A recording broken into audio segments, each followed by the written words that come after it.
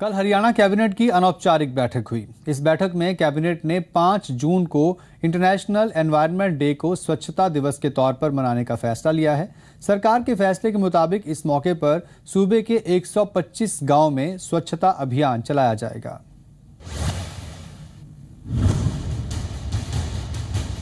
Haryana cabinet की अनौपचारिक बैठक में कुछ अहम मुद्दों पर चर्चा हुई। कैबिनेट ने फैसला किया कि अंतर्राष्ट्रीय पर्यावरण दिवस को स्वच्छता दिवस के रूप में मनाया जाएगा।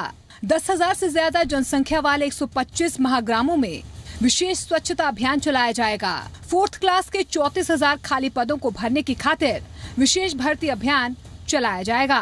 इस बैठक में जिन विषयों पर चर्चा हुई है, उसमें सबसे महत्वपूर्ण है पर्यावरण दिवस को स्वच्छता दिवस के रूप में मनाएँ। पाँच जून का जो पर्यावरण दिवस है, अंतर्राष्ट्रीय पर्यावरण दिवस तो वो महाग्राम जो हमारे हैं लगभग सवा सौ के आसपास ऐसे गाँव हैं जिनकी आबादी दस हज़ार से ज़्यादा बड़ी है।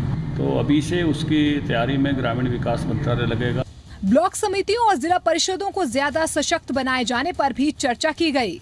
इसके अलावा बिजली के तार गिरने से गेहूँ की फ़सल का नुकसान होने पर किसानों को जल्द मुआवजा दिया जाएगा। ब्लॉक समिति जिला परिषदों वाला जो विषय है वो तेज़ी से इम्प्लीमेंट हो उसको जो साधन जाने वाले हैं हमने मई के अंत तक का समय रखा हुआ है तो समय पर वो चीज़ें आगे बढ़ जाएँ। उसके अलावा कुछ कामों में तेज़ी की जाए, जैसे आगजनी के कारण जो किसानों का नुकसान हुआ, उनको मुआवजा जल्दी मिले।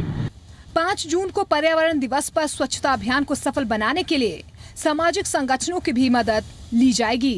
कुलबीर दीवान, जी मीडिया, चंडीगढ़।